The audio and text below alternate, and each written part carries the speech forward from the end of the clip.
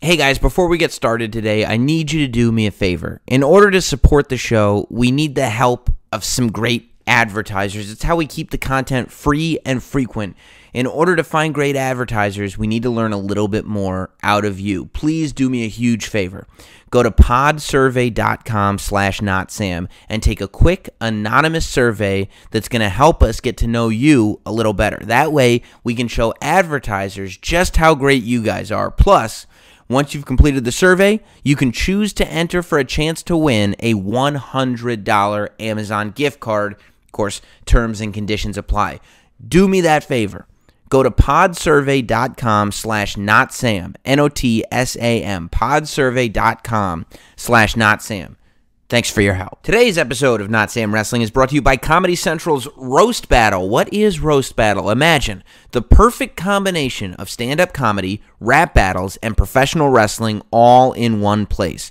Join Brian Moses and DJ Coach T for Roast Battle, the podcast, as they bring you weekly live battles from the world famous comedy store in Hollywood, as well as behind the scenes interviews with the industry's best comedians. You'll hear some insensitive jokes, some politically incorrect jokes, but every joke you hear comes from a place of love. Subscribe now to Roast Battle for new episodes every Thursday in your podcast feed. This podcast is Not Sam Wrestling.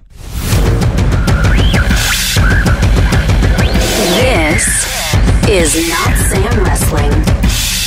Introducing your host from New York, here is Sam Roberts. That sound can only mean one thing. Welcome to another episode of Not Sam Wrestling. What is this, episode 226, I want to say? I'm not looking at it right in front of me, but it feels like we've done 226 of these episodes. Welcome to the show. Uh, thank you for all the great feedback we got on last week's episode with Diamond Dallas Page. Thank you for all of the feedback we got over the weekend, or we, I should mean I, got uh, over the weekend about my appearance on the WWE Elimination Chamber kickoff show. Thank you to Finn Balor for his feedback on my comments on the Elimination Chamber kickoff show. The whole thing. Thank you, thank you, thank you, thank you, thank you, and welcome. Of course, uh, this is going to be a, a big seven days. The next seven days are big for me, for you, for this podcast, for fans of this podcast. And that's because we have another mega live event coming up this Wednesday. That's Wednesday, February 27th.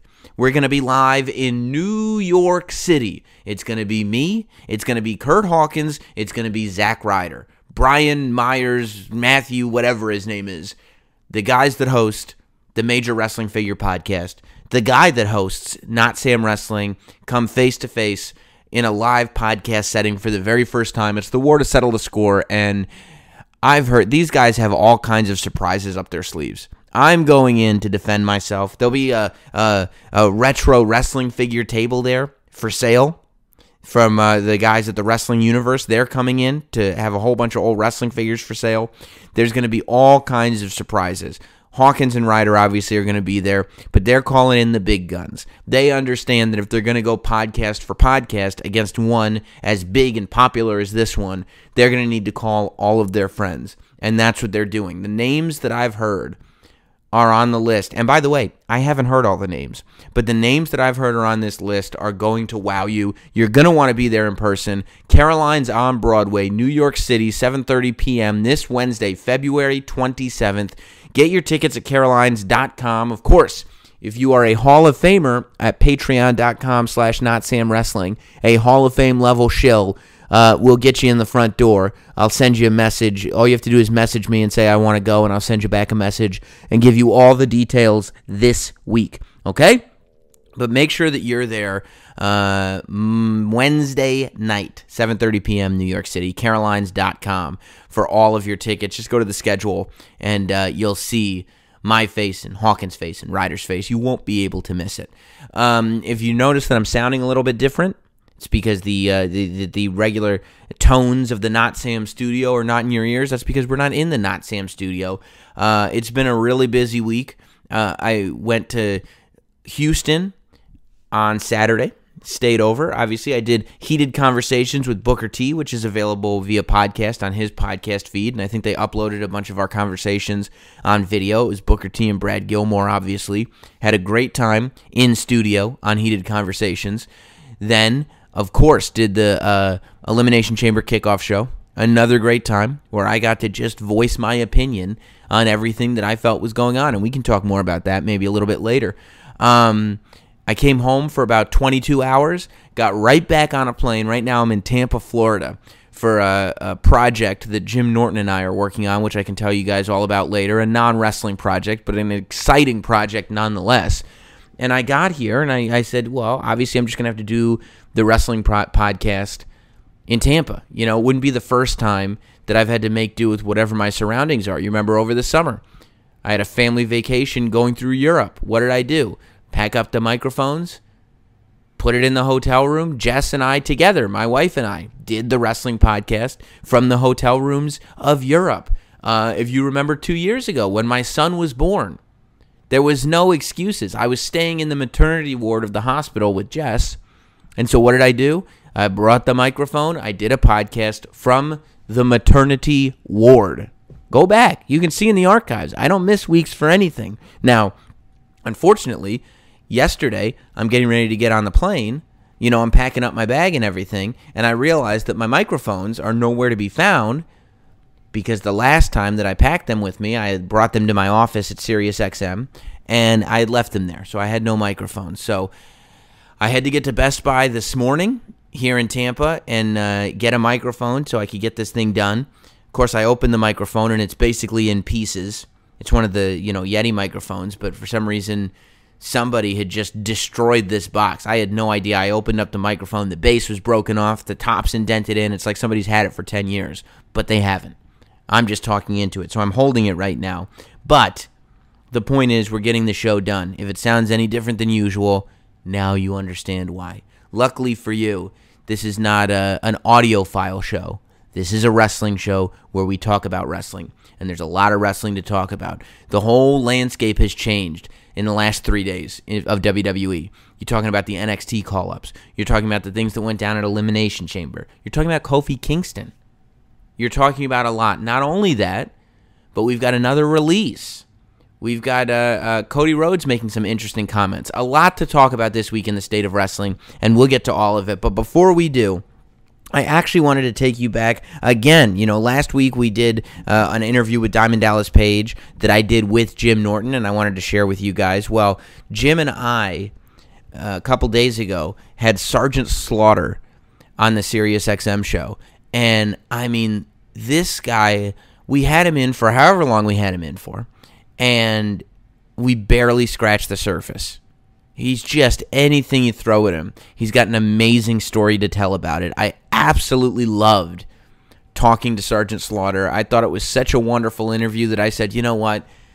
You guys who subscribe to Not Sam Wrestling, who, who are there every week with me, you guys should not miss this interview.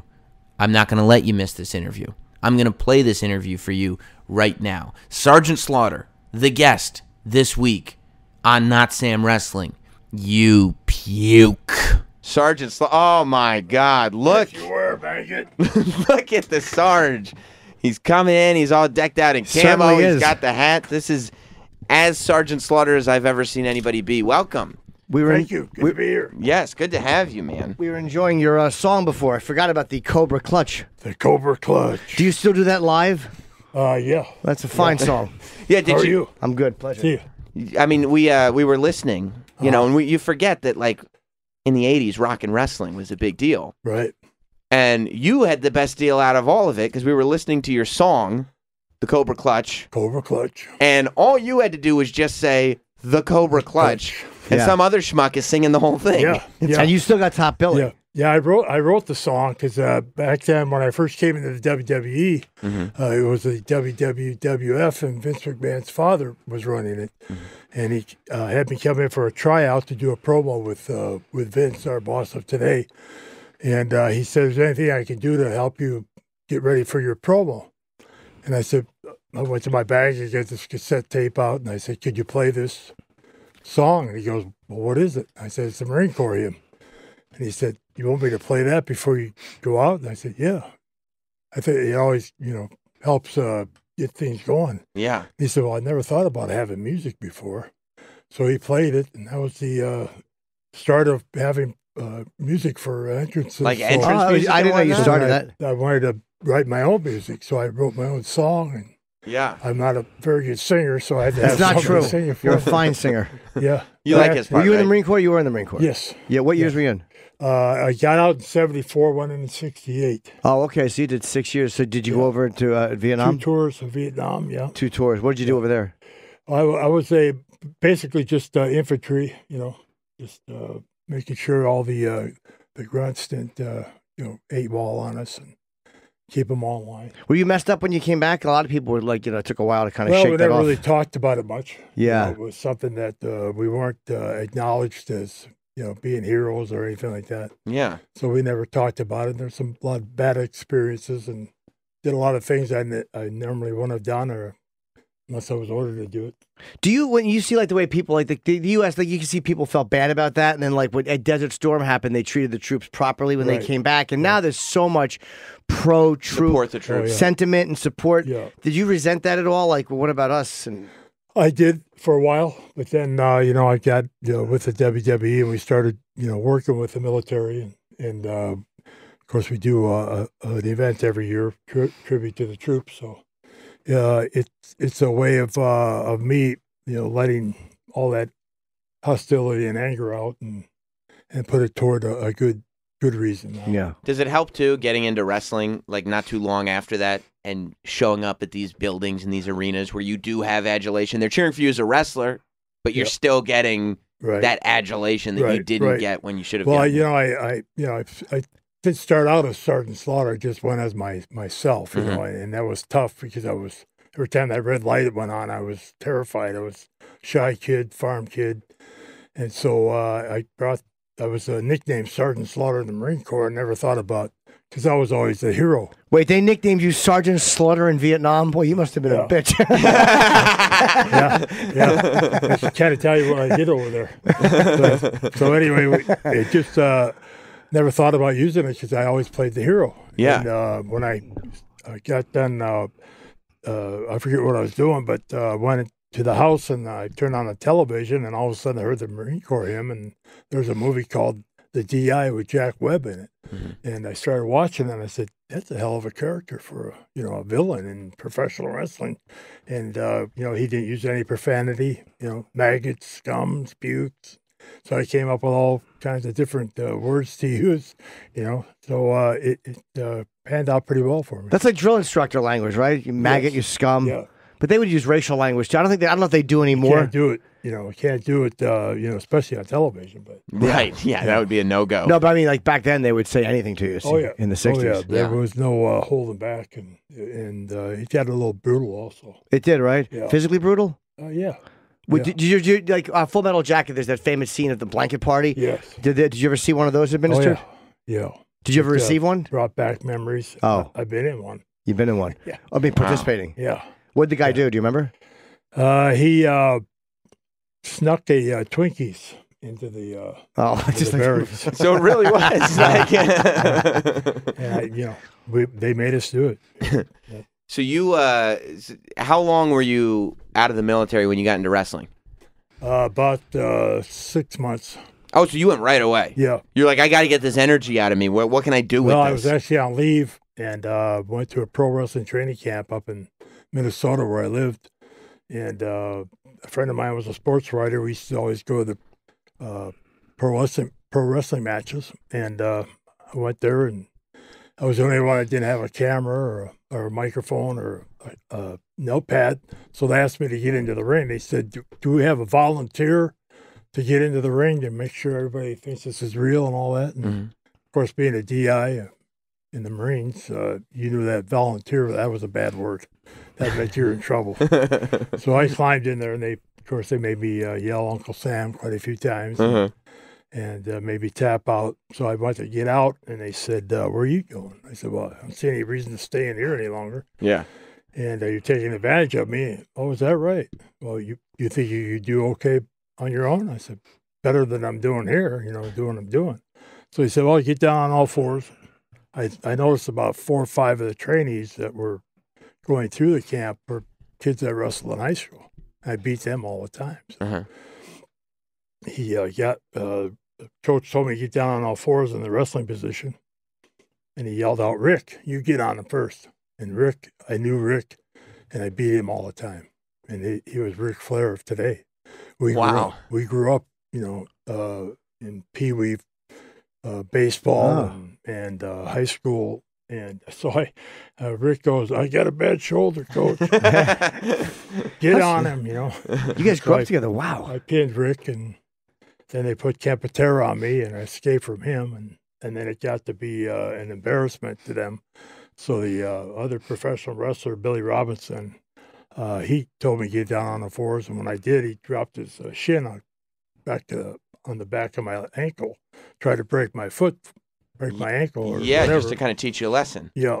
So I came up, uh, as they say, the mud, the blood, the beer, and got got him down, and you know, got him. Taught him a lesson. Pretty, yeah, yeah, Wow, and this is your good first day. I mean, Yeah, no day. training, no. Yeah. yeah. And I was still in pretty good shape, you know. yeah. And uh, so that they finally took me outside, and uh, the, the main coach said, uh, "Where'd you learn to fight like that? High school wrestling? Yeah. Where'd you go to school?" I told him. He said, "Oh yeah. What's your name?" I told him that. He says, "Your last name Remus. Your your father's name Rudy." I said, "Yeah." He, goes, "I- he put the roof on my house. My father was a roofer. You know? I said, "Yeah, I know." He told me, you know. So he says, "Well, you're you're uh, you're ready for it, but uh, you know, we can't put you with this class. Although you did pretty well, Yeah. they're eight weeks ahead of you." And I said, "Well, I'm still in the Marine Corps. I mean, I can't just You're just on that, leave. you know." Yeah. So I went home and told my dad about it, and he said, "Well, I think you ought to give it some thought. To, you know, they were farmers and roofers, and they didn't have the money put away for college. So I thought, well, I'll just follow my father's footsteps. I went in the Marine Corps, followed him, went down to PI, and and uh, had the opportunity. And uh, when I got out, uh, I, I didn't reenlist. I just uh, went right into the training camp and been doing it ever since. You look really good. Like eh, you know, we I hadn't seen you in a long time. You look great. I mean, you, you really Appreciate that. whatever you do, you fucking look you look amazing. I went to, I went to have a, a some minor back surgery about a month ago, and I'm laying on this uh, gurney, and this guy comes in. He's, uh, I guess, a nurse's aide or whatever, getting my blood pressure and everything. He keeps looking down at me, and he goes, "Man, whatever you're doing, keep doing it. You look great." And I said, "I'm in a damn hospital. Yeah, my back operated on.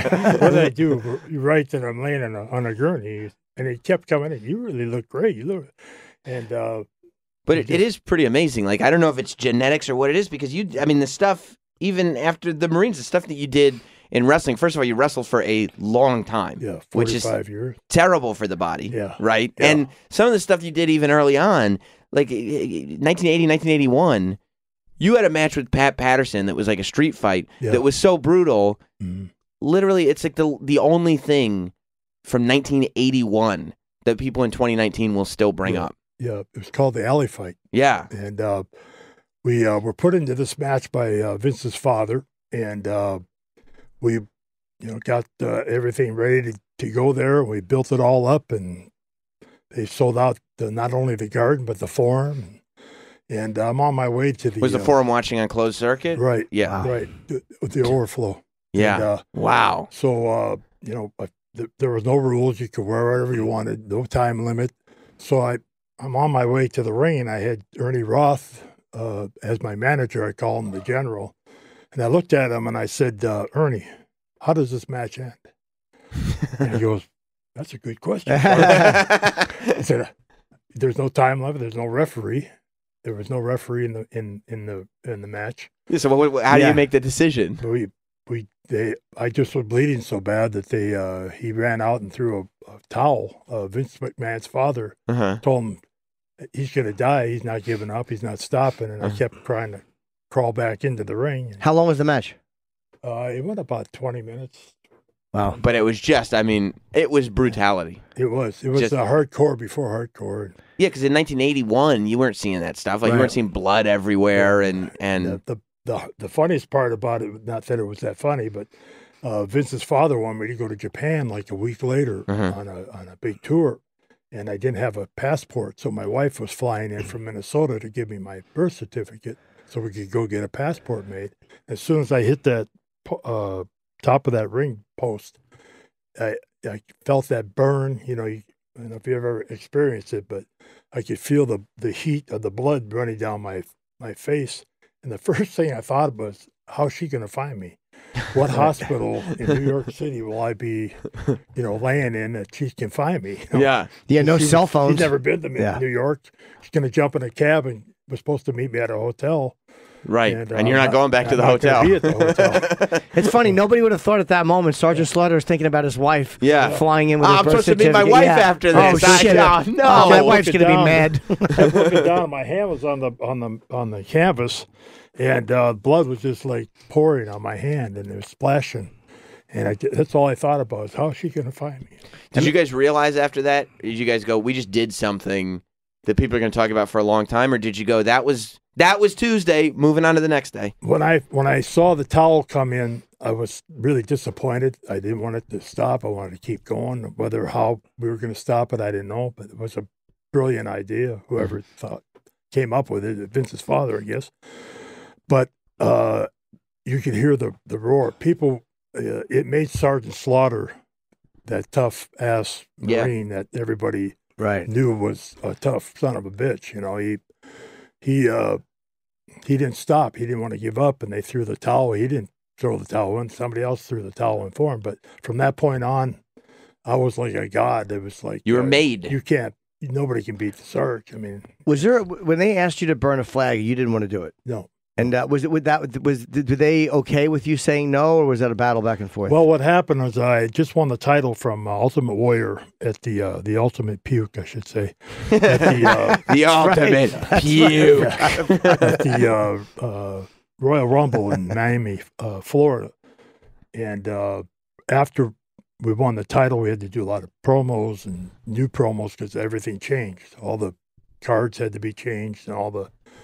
And I was uh, having, I was the champion and he was the challenger. So we So were, this, by the way, I mean, just to set it up a little bit, this was a, a ballsy move because you come back. This is now ten years removed Right. from what we just talked about. You Right. come back. right, You're uh, a bad guy. right, You're an Iraqi sympathizer yes. at a time when the U.S. had a conflict with Iraq. right, But if I'm not mistaken, the night that you won the title and said we're going to go forward with this was the same night that the U.S. announced this isn't this isn't just a, a conflict. Right. We're at war. right, And now, and that's a much bigger deal. Now Right. you, as a bad guy Right. wrestler, right. are supporting the opposing force Right. Yeah. In a war. in a you know, war. Kinda, just kind of, kind of uh, fit right in there. You know, Yeah, made it even worse for me. yeah, I'm sure it did. because we were, you were, as I was saying, we were doing new promos, and uh, Gene Okerlund, God rest his soul, he uh, was doing promos, and he had a uh, earpiece in, and all of a sudden he's doing a promo, and he goes, "Wait a minute, wait a minute."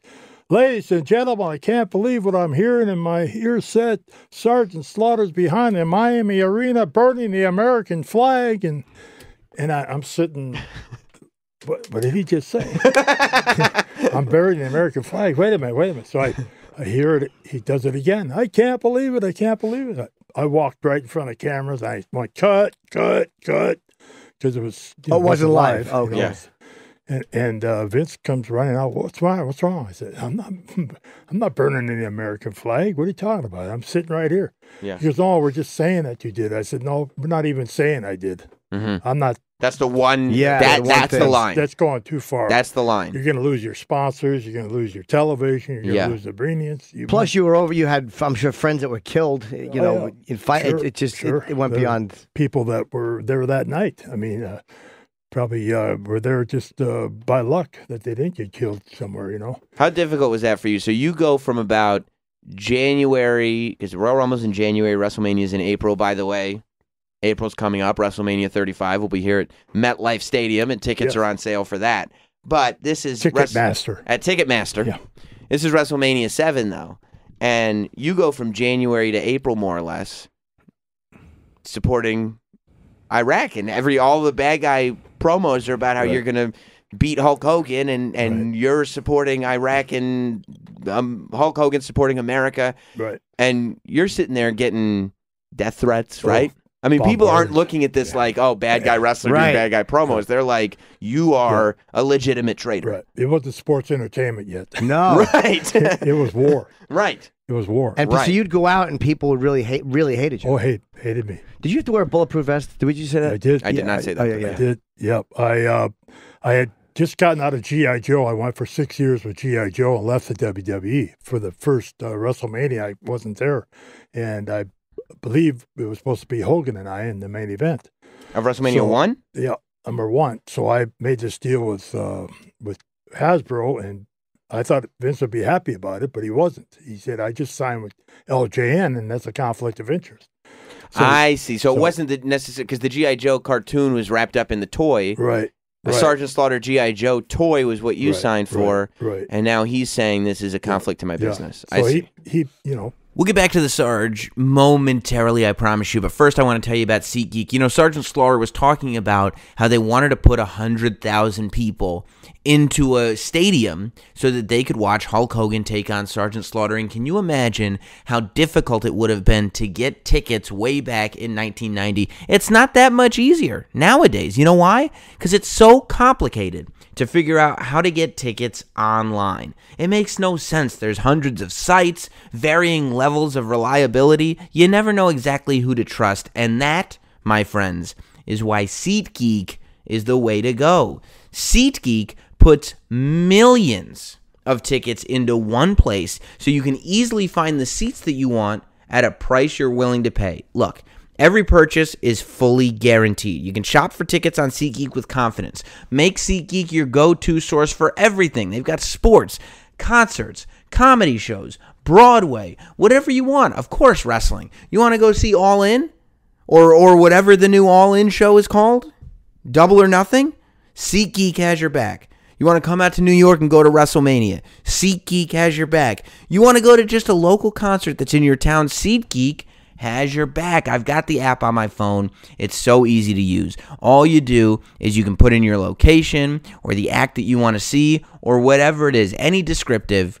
They're going to find the event. You're going to click on it. Seating chart pops up, show you what seats are available, what the value of those seats are. Every metric that you need will be right there. Best of all, you guys are going to get $10 off your first SeatGeek purchase just for listening to this show. All you need to do is download the SeatGeek app and enter promo code SAM today. That's promo code SAM for $10 off your first SeatGeek purchase. SeatGeek. Life's an event. We have the tickets back to Sergeant Slaughter.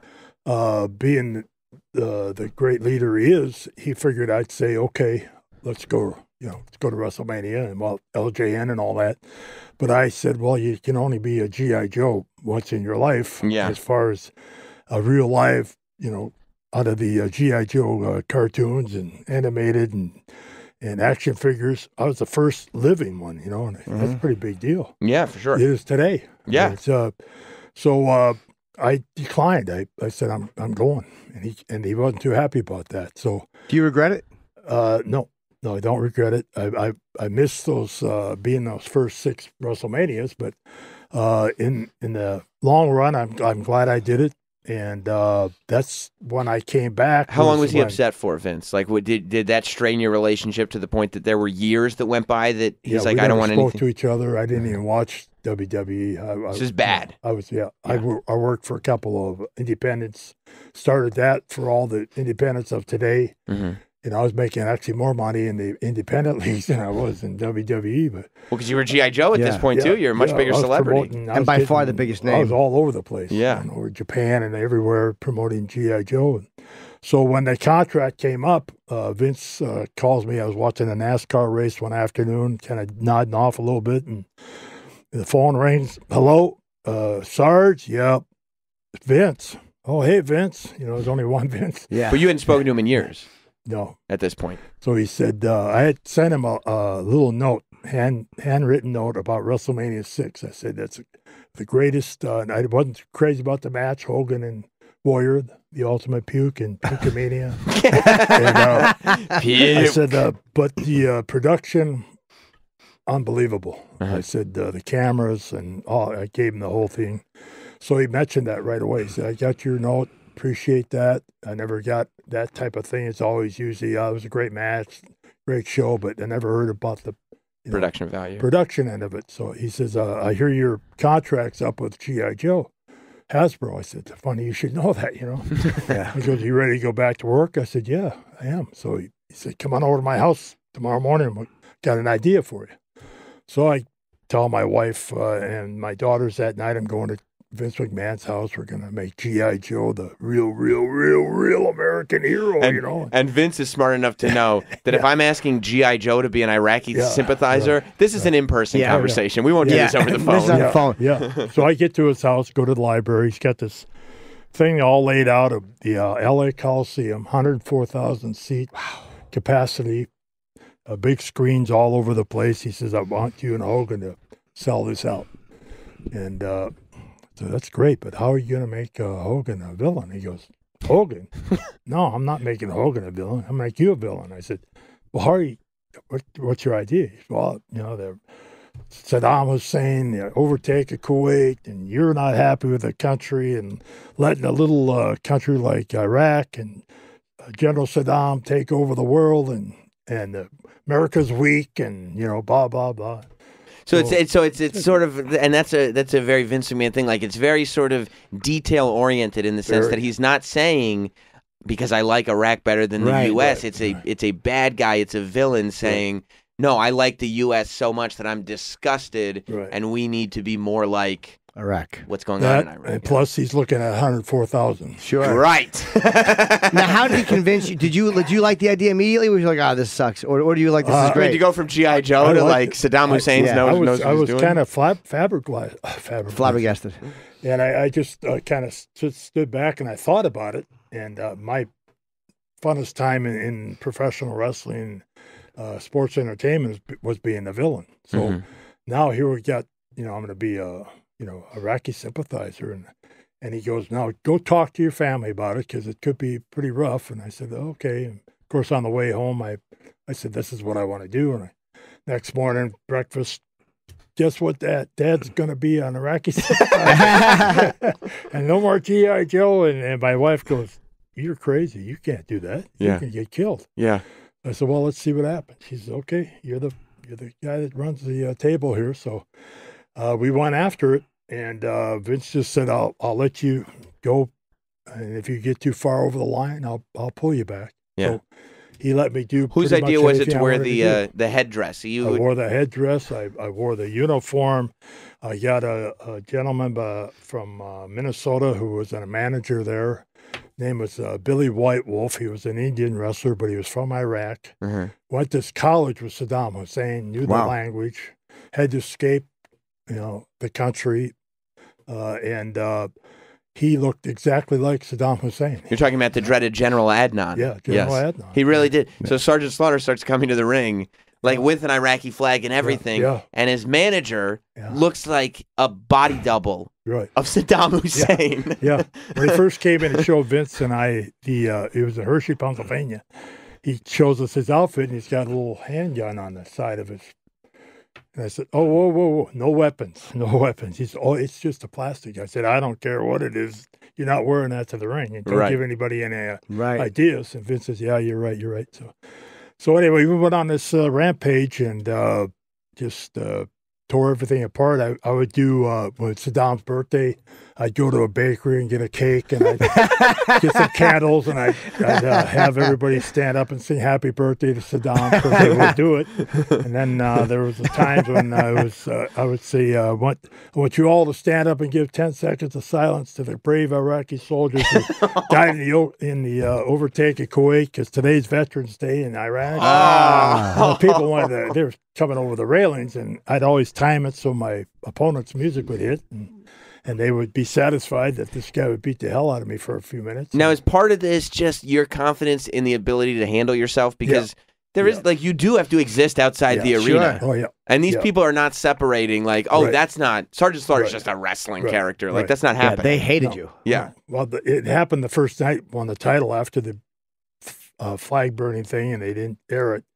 We went to uh, I went with my agent, uh, and we went to a Denny's, I think it was, and there's nobody in there. It's three o'clock in the morning. Yeah. no no service. Finally, I I asked the girl, I said, could you give us some service? And she kind of shook her head. She ran into the kitchen. Here comes this burly guy out of the kitchen. He's got a spatula and little uh, naval cap on and white T-shirt. Walks over the uh, table and he's got the spatula in his hand. And he looks at my agent. He goes, "You can eat." He's not, and he points the spatula at me. Pulls up the sleeve of his uh, T-shirt, and he's got the uh, United States Marine Corps emblem tattooed on his arm. So I looked at my agent. And I said, "I think we probably should go somewhere else to eat." You know. Yeah. you- but uh, you didn't break and tell him no. Look, this is just the whole Yeah, thing. You no, just no, I, I went with it. And So got you never did you, Philadelphia. and, did you uh, did you get to spots where you were you want to just tell the world like no I'm I have this military history I'm acting I'm doing No, no, I only did that at my daughter's schools. I went up there a few times. I'm a I'm a Cub Scout leader, you know. oh my god and uh, the Cub Scout leader is waving the Iraqi flag on yeah, television so I had to go up to schools and, and tell them I'm just you know an actor. I'm their father. I, this is just a character I portray, and it didn't really help. But you know, my oldest daughter didn't care, and uh, she you know went with everything. And my youngest daughter was a fighter. She'd stand and fight for me, and she'd come home sometimes with a black eye or oh, they'd give her you know, shit. Yeah, she she was. but she'd fight back she fought back. Did you ever have a physical? Don't 'cause- call my father that, you know. Yeah. Did you ever have a physical problem with somebody out? Uh, not not too much. You know, we uh, I got to Philadelphia next day after I won the title from the Ultimate Puke, and and we uh, and I got there, and Jay Strongbow was the uh, road agent, and he said, "Have you talked to your wife today?" And I said, "No." Is there something wrong? He said, "No, I don't believe so." Have you talked to Vince? And I said, "No." And uh, he said, "Well, you might want to give him a call. We didn't have cell phones, so I find a payphone. I call my wife. There's just a machine, and I leave a message, and then I called Vince, and he'd just gotten back from Miami. He's in the office, and he said, uh, "Yeah, have you talking to your wife?" And no, spoken to your wife? No. Uh, is there a problem? No. Uh, somebody called the wrestling office this morning. Said they're going to kill you. They're going to kill your family. They're going to kill me. Kill my family. Blow up our houses. Blow up the wrestling office, the studio, our Mhm. cars. And I thought I'd take a precaution and call your wife. Tell her to get the hell out of the house. You know, just in case. You know, we don't know. yeah So uh, I finally got a hold of my wife, and of course she said, "I told you this wasn't a good idea." so uh, you know, we kept on going, and, and I finally got home about four days later, and, and uh, I lived in Connecticut, Western Connecticut, and I had this house that was hard to find. I, I loved the the uh, road because it was dirt, and it didn't even have a road sign. Mhm. And when you finally got to my driveway, it was a big windy thing up the. You could hardly get a car up there. that's convenient when you're going on TV as a former military Sure. man sympathizing with the Iraqis Yeah. Be hard That's to super, find. yeah So that's uh, super I got to the top of the, the hill, and there's a Winnebago. I don't know how it got up there. And four gentlemen come walking over out of a, a black sedan, sedan, and they opened up their uh, coats and showed me they were packing weapons and told me they were going to walk the perimeter of my property, the four acres, 24 7 till they were told not to. Going to take my children to school and, wow and Did take Vince my hire wife them? to Or the how- grocery who, store. who, who got that done? What's that? Who got that done? Did you? Vince. Oh, he did. Vince McMahon, yeah. wow So uh, he, um, they said till we're told not to. So I walk in the house. Of course, my wife's got the rolling pin in her hand, and another spatula I got to look at. And uh, so she said, "I told you this wasn't a good idea." And I said, "I know." She said, "I'm not going to the grocery store with a armed guard, and my children aren't going to have an armed guard at the schools." I said, "I know, I know." So I told the guys, Isn't that great? After all this, Yeah. like you know, your your your your whole life, and then everything you're doing, you're getting everybody pissed off. You're ready to blah blah blah, and you get home, and your wife, I know, I know, I Yeah, know, honey, yeah, I right. got it, You're honey. right, honey. Yes, honey. Yes, honey. Uh, where's the garbage? You want me to take the garbage? Yeah. so uh, anyway, we we went on along with it, and uh, finally one night in Madison Square Garden, uh, Vince's father was still you know around, and and uh, he said, "There's some gentlemen that would like to talk to you. I want to do this little room," and uh, they were the FBI, and they said, uh, "We get so many. Uh, we don't know if you know this, but we get so many death threats and." Problems with you that we were wondering if you would consider wearing a bulletproof vest. We have- Wow. we have this new style that is mesh. You you won't even know you've got it on, but we think we should take a precaution. Like just in your day to day life. Right. Wow. Yeah. And you said yes. Just basically wrestling, they said. Oh, for when you go out to the ring and Right. stuff. So you, in case you get shot. in I the- see. Did it scare you? No.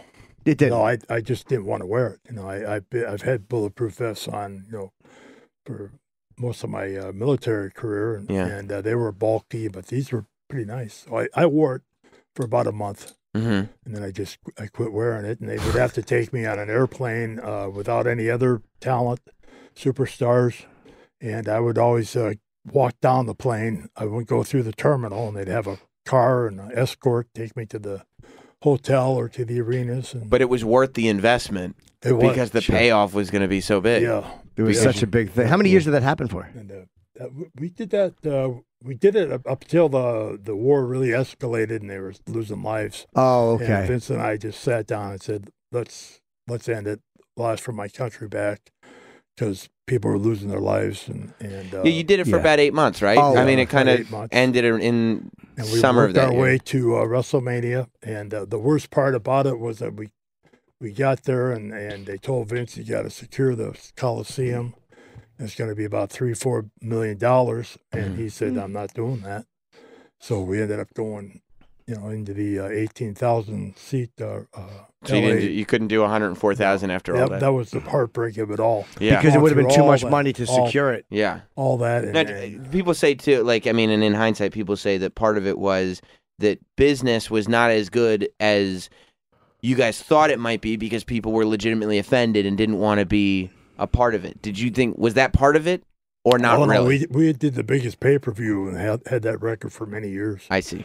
till it was broken, of course. But Yeah. uh, no, we So there was that interest Yeah. in seeing you finally get your ass kicked. yeah. Yeah. Well, the fun part about it is uh, uh, we we go to the match and they have all you know uh, Regis Philbin is a special ring announcer and. And Alex Trebek is a timekeeper, and Willie Nelson's going to sing you know, "God Bless America," and Donald Trump is in the front row with Marla, and and all, all these people that I know, you know, uh, they wouldn't even talk to me. Wow. They were, they were into it so much that they they sorry you, you and um, I'll never forget Regis just walked over to me and you're bad, you're bad, Sergeant Slaughter. You know, and just started berating me and How'd you finally break it? How'd you finally go? All right, we we're done with this because people are really getting killed over there. So how, how did you finally break And it? did, and did you worry that- that you would never be able to be a good guy ever I- I- again? uh, Vince told me from the from the beginning. He said your uh, your fans will always love you and they'll always bring you back. That's That's a lot it of is. faith. Yeah. A lot of faith in you, especially from that match we talked about, the alley fight. Pat Patterson said they- match. you'll never lose them. You know, you'll always have them. I don't care if you're 80 years old and a pot belly and you can't walk, they're going to cheer for you because you entertain them and you show them you're a tough son of a bitch. Uh-huh. So uh, we decided to do the uh, let's go for the country back idea. Went to all the monuments all over the country, and one night in um, some town in uh, Pennsylvania, uh, Mean Gene out doing a promo. Vince says, "Go out and and do a uh, I want my country back promo for me." And we didn't have scripts or anything, and we were all ad lib back then. So I go out there and I start trying to talk and want my country back. People are booing and drowning me out. So finally, I took the microphone and I start, started singing "God Bless America," and uh, got kind of teary, teary voice, and I was actually uh, sad, you know. And uh, people s- stood up with their lighters and sang the song with me and applauded and gave me a standing ovation. I walked back and go through the curtain, and Vince is just shaking his head. I can't believe that you did that in that that short a time that you got those people back. He turned him. And Yeah. you, he said you're teamed up with Hacksaw against uh, the Iron Sheik and Nikolai Volkov in the next hour. Why don't we turn on Hacksaw? Because he saw he saw the love and he wanted you to go bad They would do it all over again. Turn on Hacksaw. And I said, okay. And he goes, no, no, no, no. Just so, then we went, Well- uh, went our own other way. How did you? Uh, so after WrestleMania, you, when you start going into the summer and just get to the tail end of this, you know, evil Sergeant Slaughter thing, you added a man named uh, uh, Colonel Mustafa, Mustafa was the Iron to your yeah to your regime, and that was actually the Iron Sheik. Yeah. yeah. What was it like uh, partnering up with the Iron Sheik? We've met the Iron Yes. Sheik before. Yeah, I, I never was a, a a fan of that idea.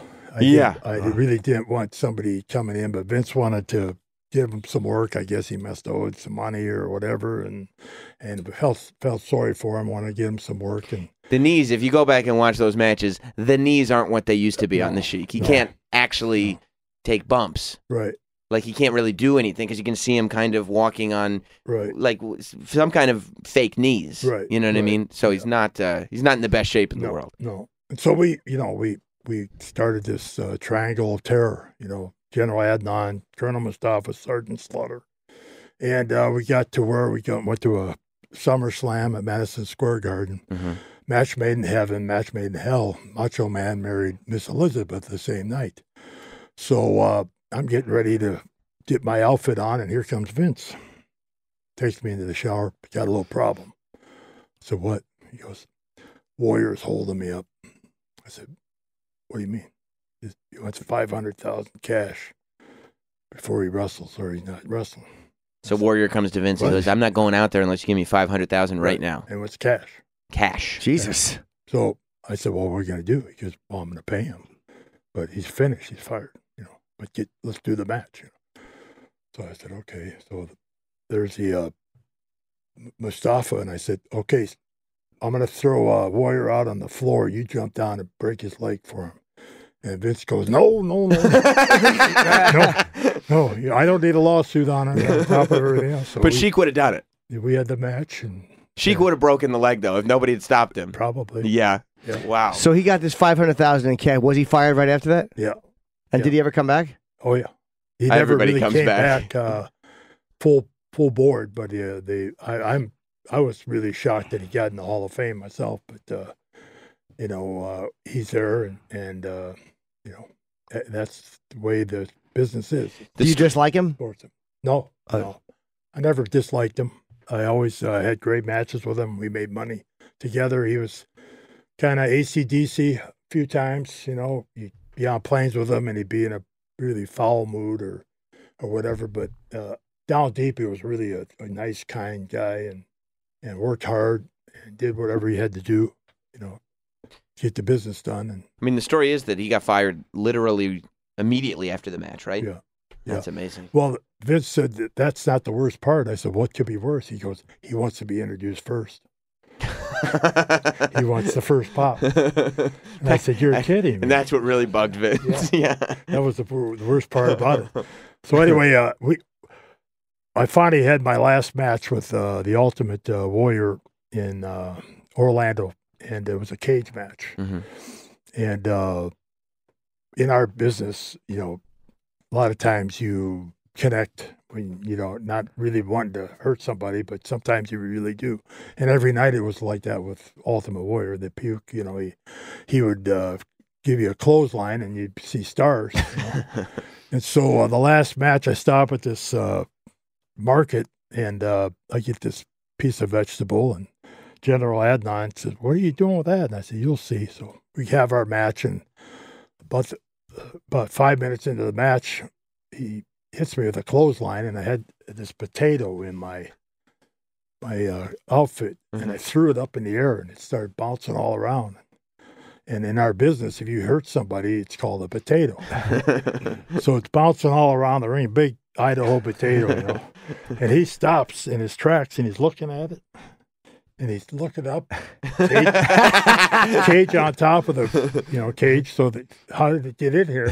then he looked down at me, and of course I'm I'm, I'm moving my body in a laugh, and he grabs that potato and tries to stuff it in my mouth. And, He went uh, was, was laughing. I never heard him laugh before, and uh, so when he got inducted into the Hall of Fame, the night of WrestleMania, I tried to find him, and I because I stopped uh, before the uh, the show, and I got another potato, and I was gonna give it to him as a gift. Mhm. And uh, I couldn't find him, couldn't find him. Finally, I went by a room and there he was doing a promo, and I and he and he stopped doing the promo and goes, Sergeant Slaughter.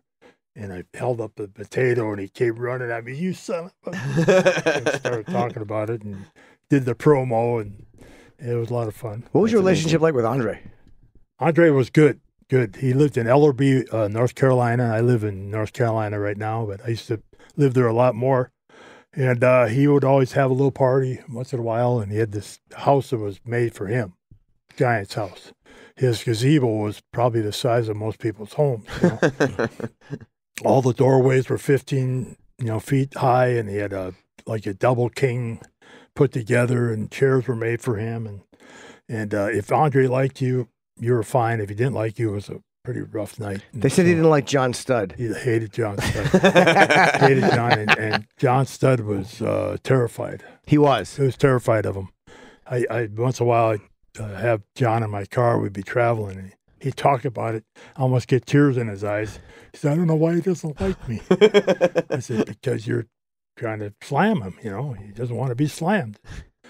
So uh, They're like, oh, He's no, the- it's just a it's, it's a business. We're Yeah. just we're just all working together. He's Yeah. like, nope, doesn't want to. no, not Andre. But he would but he would try to I think they said he would try to put a hurting on him when he Oh yeah, yeah. And uh, Andre, if he was in a good mood, you're fine. Right. you know, one night I got him and he'd been on the road, come back from Japan, little town in New Jersey. People were coming out of the woodworks, and uh, I come uh, to the to the uh, arena, and Andre's not there yet. His plane's late. Finally, uh, the rep, uh, one of the guys said, "Just go out. He's on his way. Go rile up the people. When when he's here, I'll send the referee." Okay, so here comes the uh, referee. He looks at me. You're in for a good time. I said, Oh, What do you mean? So Andre just got off the plane and and he's in a great mood, you know. So here he comes. And uh, I, I get him in the ring, and he used to kind of play around with me. And so I, I got him in a front face lock, and he's got this hair like a lion, you know.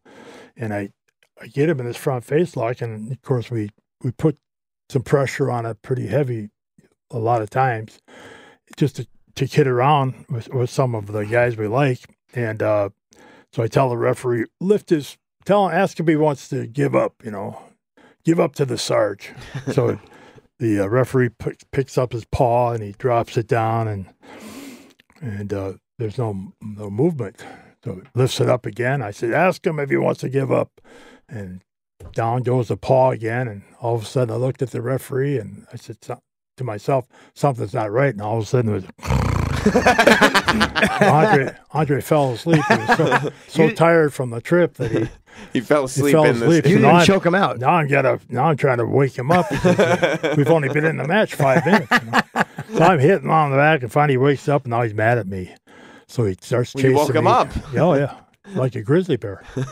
and uh, I s- I started running around the ring, and he's coming after me. I jumped over the, the top rope. He'd come over the top, run around. Finally, I headed back to the dressing You room. just left. Yeah, I ran around the the locker room, uh, the lockers, and he's chasing me around. and, and I said, "What do I do?" Arnie Skaaland was the uh, road agent back then, and he said, I, "I don't know, kid." He's got a cigar. I don't know, kid.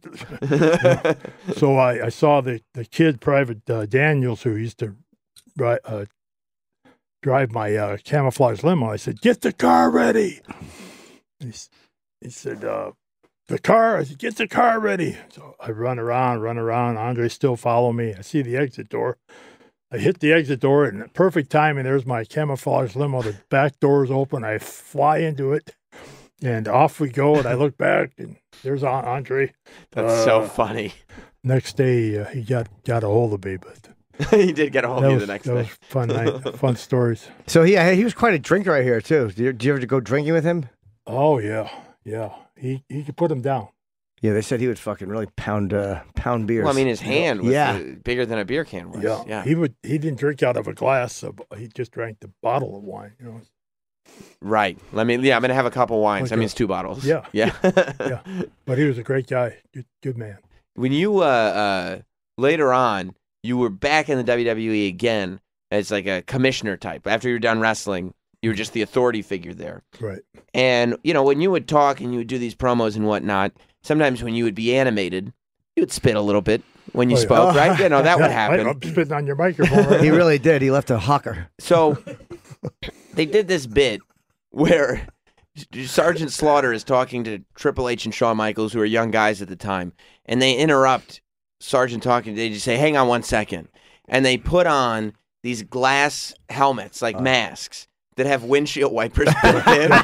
Yeah. and they go, "Okay, go ahead," and they turn their windshield wipers on while he's talking. Yeah. How do you not break and go like? That's the funniest shit I've ever seen in my life. How do I how do I stay mad at this? It, it was the funniest thing I'd ever seen because I didn't know what was happening. You know, Yeah. they had a we had scheduled to have this promo, Mm-hmm. and uh, they tell you how much time you've got when you go out there, and and uh, so I I get into the ring, and I'm I'm the uh, commissioner, as you said, and I'm like the uh, the sheriff at the OK Corral with no laws, you know, no, Mm-hmm.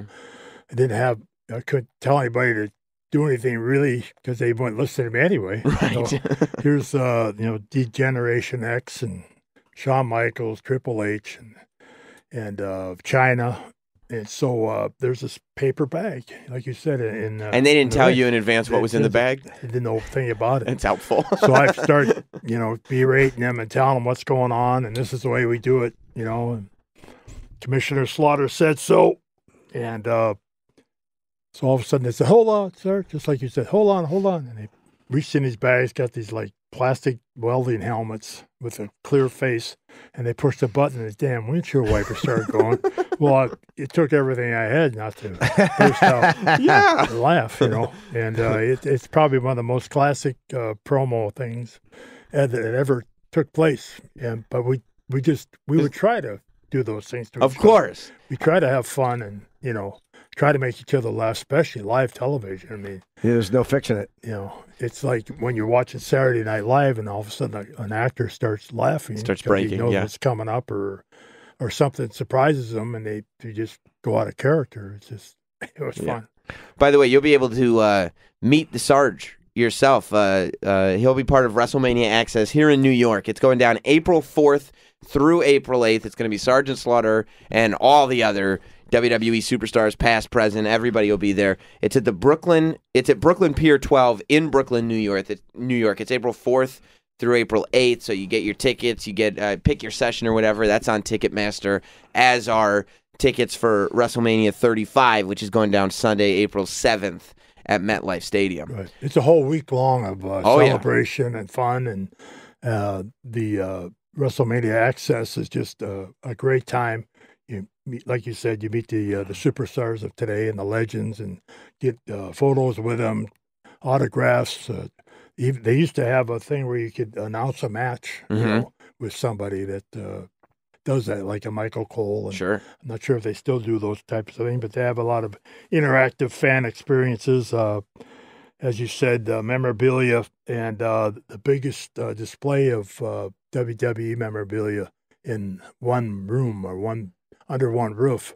Yeah, it's amazing. I You've seen can't it. wait to see. You it. were there a couple years ago I it's the- was. when I we were can't in wait Orlando. To see Yeah. what's all on there. You know, Yeah. It's just, it, it surprises me every time I, I see everything that's uh, being uh, sold and and uh, available for the uh, WWE universe to You know, you had, a, you, had, enjoy. you had a rivalry with Jim Norton's favorite wrestler of all time. Well, I was a Bob Backlund fan at one point. Bob point. Backlund fan. yeah, Bob and I. Uh, I uh, you ever he see him was do the doing knee the, uh, walk? he was doing the uh, the what? The knee walk? Oh yeah, you like he, the knee walk? Yes, I do. he was doing he was doing the uh, s- uh, step test, uh, Harvard step test that we used to do in the Marine Corps, and so he said he was going to do it for an hour, and it was going on all the while the matches were going on in Allentown, Pennsylvania. What's the step test? Just walk up and down Yeah, the. you up and down one step, uh, then you go up with the other foot, and you just go back and forth for you know he goes for an hour or two hours. You know, it just uh, never stops, and uh, it's in a, a a certain position. You have to do it in a in an upright position, Oh, and uh, so he uh, about. 55 minutes or 52 minutes into it, I decide he's not doing it right. So I go out and uh, I start berating him, and he's still doing the test. And finally, I do something to distract him, and because he's going for a record Mhm. uh, of amount of time to to do this, and uh, so I get him mixed up, and he has to stop. So he gets mad at me. He jumps in the ring after me, and I started uh, beating him with my uh, riding crop, That's my right. swagger stick, and I welted the back, his back, like uh, no tomorrow. you whipping Bob Backlund. That's right. I You remember? that. Oh, I certainly Yeah. do. I was actually thinking of that as you're talking. I remember the step, and I remember you whipping Bob Backlund. Yeah, yeah. And when he uh, Yeah. when he got his uh, Hall of Fame acceptance uh, speech, he uh, walks over up behind the podium, walks over where I am, and he goes, "And you, Sergeant Slaughter, I still hate you. my daughter hates you. My wife hates you. All my family and neighbors hate you." But we had a hell of a match. Well, uh, This was great. Yeah, it's been a pleasure, man. Don't Yeah. forget WrestleMania access at the Brook- at Brooklyn Pier 12, April 4th through April 8th. WrestleMania 35 is April 7th. They're doing the Hall of Fame. There's everything going on. Ticketmaster for all your tickets uh, to the whole weekend. I'm sure Jim and I will be doing a whole bunch of stuff associated well, with we're it. gonna, you know, we're going to be at the uh, Barclays Center also for uh, Raw absolutely. and uh, NXT Takeover uh, Hall of Fame will be there. Yep, SmackDown. The, uh, and the SmackDown Live. Yeah, It's all going to be at the Barclays Center. I can't wait. I can't Yeah. wait. It's my favorite weekend of the year. Thank you, it's Sarge. unders- Yeah, thank you. underscore Sergeant Slaughter. Appreciate it. No push-ups for you guys. You're dismissed. By the Under- way, is- underscore SGT Slaughter on Twitter. Is is Jim Norton as many times as you've brought up maggots? Is Jim Norton the human being that most resembles what a real maggot might look like? I think he would look good in a Cobra clutch. I do too. I do think too. we ought to put him in one? I think so. I think. Oh, that'd Okay. Should be we do it? that'd be Let's a do fun it. picture. Yeah, let's do Hold it. on. Yeah. So the Sarge is going to put Jim Norton in the Cobra clutch. You stand further away? There used, to be, there used to be a move called the oh. sleeper hold. Right, right. So the sleeper like hold gets locked on. That- that- Jim, I like that Jim prepares to go to sleep. yes, it does. Yeah. So the Cobra clutch was invented to work on both this side and that side. Okay. Jim, tell me if you can feel that it would be effective. Oh God, yeah. Well, I'm not even, I haven't even put it on yet. Yes, you have. That's how. It, that's the Cobra clutch. Oh, you can. How, do, how does it feel when it gets a little with the Cobra tighter? Clutch, maggot. It feels very unpleasant. Puke, yes, I am. slime. Indeed. The vein in your forehead is popping. Yes, he's choking me. He's a strong son of a bitch. Jim, is, is Sergeant Slaughter still quite strong? Oh my God! Yeah, Those giant marine hands. Here is Sam Roberts. One of the greats, Sergeant Slaughter. Such a pleasure talking to him. Of course, that will be up on video on the YouTube channel, youtube.com slash not Sam. If you want to watch it first, become a Not Sam show at patreon.com slash not Sam Wrestling. But so many gems in there. So many gems. And the fact that at this point in his life, he's still happy. He's still got gratitude for everything. I mean, you talk about not being afraid of heat. That's what people talk about sometimes. The reason why some bad guy characters don't work is some guys are afraid of heat. Sergeant Slaughter fought in Vietnam and was so unafraid of heat, he was willing to go on television and portray a sympathizer to Saddam Hussein and Iraq while we were at war with them. Some people say or, or think that he should have been a lot more afraid of the heat. That he shouldn't have done any of that to begin with. You know, I'm somebody who I've said a million times here on the podcast. I think you can get away with just about anything in wrestling because you can portray it in the context of he's a villain, he's a bad guy. You know, I think that if you were to have a movie where a character in the movie were a sympathizer to an enemy that we're at war with, you know, I'm, there are people who have played members of Al Qaeda in films. Actors have played members of Al Qaeda in film. Actors have played Kim Jong Un and Hitler and all terrible people. But we don't look at those actors and go, well, you can't portray that character because it's too real. It hits a little too close to home, you know? And I think that sometimes, as much as wrestling is a beast into and of itself, sometimes that's the way to look at wrestling too. That even if we're drawing from reality, we're still telling stories here. And and these are still performers that are telling the stories. I think if you do it right, you can get away with just about anything in wrestling, but maybe that's just me. I'm interested in uh, in what you guys all think. Um, speaking of getting heat, of course, there were some people that were again upset about things that I was saying on the uh, Elimination Chamber kickoff show. I wasn't even sure I was going to be on the kickoff show until the last minute. But look, once again, I go in and WWE says, just go out there and give your opinion. You know, I don't have any apol. I certainly, if I'm not going to apologize about what I said about Bianca Belair, I certainly don't have any apologies to make this time. And honestly, a lot of the opinions that I was giving on the kickoff show, I've kind of said the same stuff here on the podcast. So I I'm, I I try to be the one thing I try to avoid is being hypocritical. The one thing I, I don't want to be fake out there. Okay, I, I, I want to be I want, uh, give an analysis, give my opinion on what's going on, and You know, if WWE is going to ask me to give my opinion, I've gotten to the place where that's what I want to give. That's what I want to give them. Not just sell the pay per view, sell the pay per view, but sometimes you've got to give your opinion, and that's what I did. And I'm glad so many of you tuned in for it. I thought it was it was it, it was a blast, and it always is a blast. I thought Elimination Chamber was a great pay per view, and for everybody that said Royal Rumble was way too long, well, you got Elimination Chamber done in about three and a half hours. Isn't it funny that we've gotten to a place in 2019 when there's a three and a half hour pay per view, and we're like, that's it. Where's the rest? That's it. We're done at 10:30. Well, we started at seven. You know. Um, but yeah, I mean, I thought that the length was perfectly appropriate. When you have a pay per view like that, you got two big elimination chamber matches in it that are going to take up some time. You're telling stories with the other matches. Three, three and a half hours is right on the money. You know, I think with the big shows, WrestleMania, Royal Rumble shows like that, four, four and a half hours, right on the money. But anything more than that gets to be a lot. And I thought maybe that's why Elimination Chamber felt good. I thought all the matches counted, all the matches told a story, and and the length was right. But we'll get into a full review of Elimination Chamber because it also opened us up to stuff that we saw both on Raw, but mainly on SmackDown. It really feels like these last two pay per views, as of right now, going into WrestleMania, have been a lot more about SmackDown than they have been about Raw. But we'll get into that all uh, in the state of wrestling this week. Uh, I'm excited to do it. As a matter of fact, I'm so excited, I don't see why not start it now. Don't forget, by the way, I should mention again, this Wednesday at Caroline's. Get your tickets if you haven't already. Carolines.com, the Major Wrestling Figure Podcast versus Not Sam Wrestling. Whole bunch of surprises, whole bunch of people coming out. People are going to be talking about this show for a long, long time. You're not going to want to miss it. I'm going to embarrass the Major Brothers.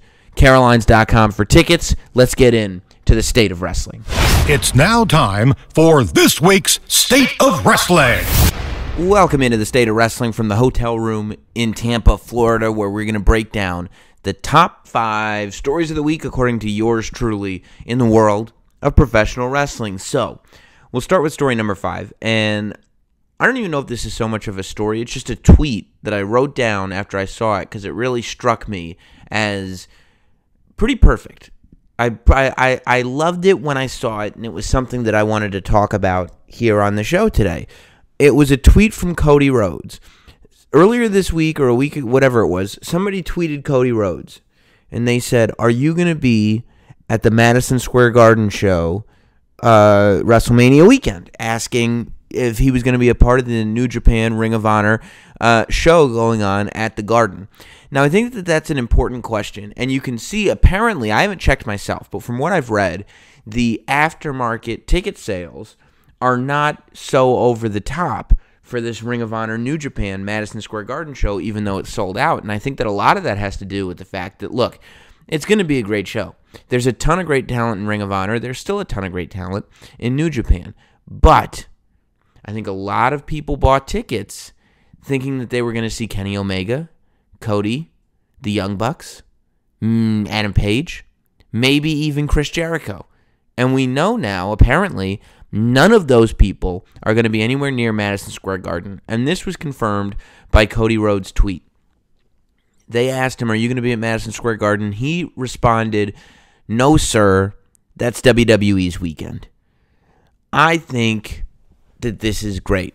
This leaves all elite wrestling. I mean, this cements them before even going on the air, before even announcing a TV deal, before even technically, unless you want to count All In as their first pay per view, which I say that you do not, because if anything, All In is simply the pay per view that led to the formation of this promotion. So this promotion has not yet had its first pay per view, and it has already taken the stance as the number two, at least, promotion in the world because unlike every other wrestling promotion, it is not piggybacking on what WWE is doing. It is not looking at WrestleMania and saying, oh, there's all these wrestling fans in town.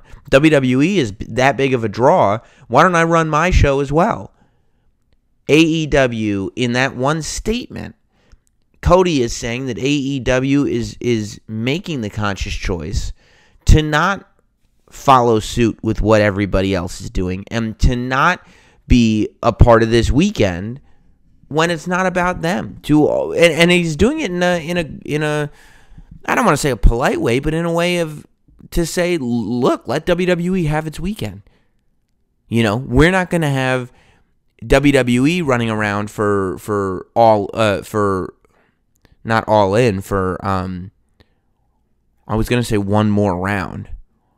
But that's not what the show is called. I'm just having a brain fart at the moment for um oh, it's going to come to me in just a second. Uh, We're not going to have double or nothing. WWE's not not piggybacking double or nothing. So we're not piggybacking WrestleMania. It puts them in this position of great power, I think.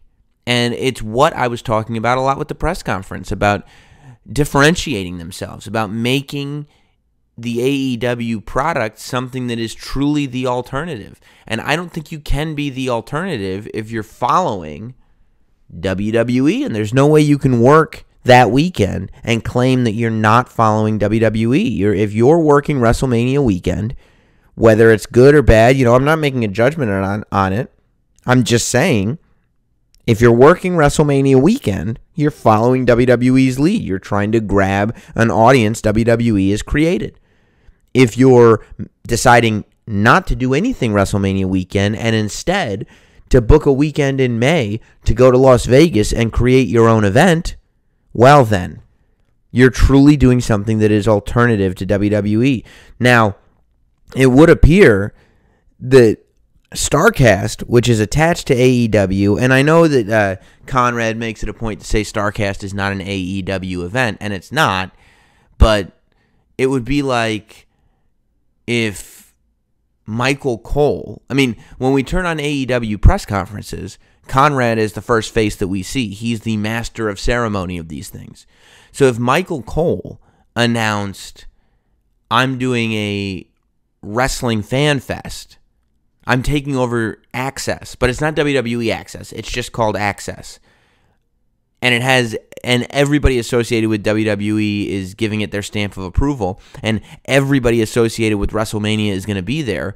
It becomes a very very difficult thing to separate the two. Clearly Starrcast exists because of AEW and is a complement to AEW.